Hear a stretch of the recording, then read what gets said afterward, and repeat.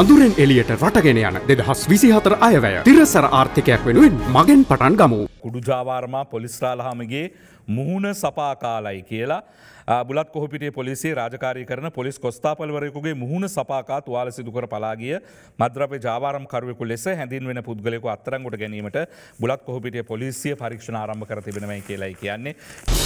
අද දෙරන YouTube නාලිකාව YouTube අද දෙරන දැන්ම සබස්ක්‍රයිබ් කරන්න.